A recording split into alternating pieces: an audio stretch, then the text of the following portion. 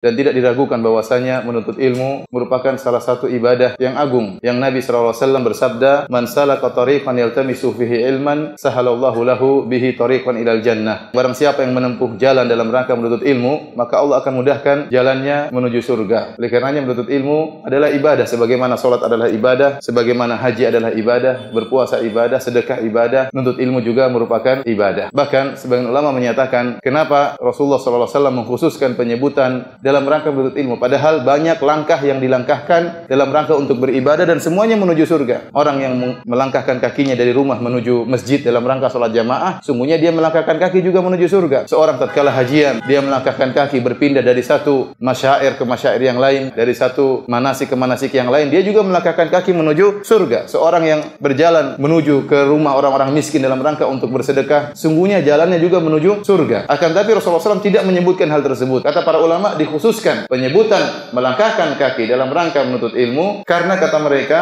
menuntut ilmu adalah jalan yang paling mudah menuju surga. Kenapa dengan ilmu maka akan terbukalah cakrawala tentang ibadah-ibadah yang benar untuk kita kerjakan. Dengan ilmu maka seorang bisa beribadah dengan berkualitas, berbeda dengan orang yang tidak berilmu. Dengan ilmu dia tahu perkara-perkara yang diharamkan sehingga bisa dia jauhi. Dengan ilmu dia tahu apa yang harus dia lakukan tatkala di zaman fitnah dan macam-macam. Oleh karenanya jangan pernah kita sepelekan menuntut ilmu. Ingatlah menuntut ilmu juga merupakan ibadah ibadah. Oleh karenanya, seorang tatkala hadir dalam majelis ilmu, dia hendaknya menghadirkan bahwasanya dia sedang beribadah dengan ibadah yang dicintai oleh Allah Subhanahu wa taala. Bukankah Rasulullah SAW bersabda, "Man yuridillahu bihi khairan yufaqihu fid Barang siapa yang Allah kehendaki kebaikan baginya, Allah akan buat dia faqih, paham tentang agama.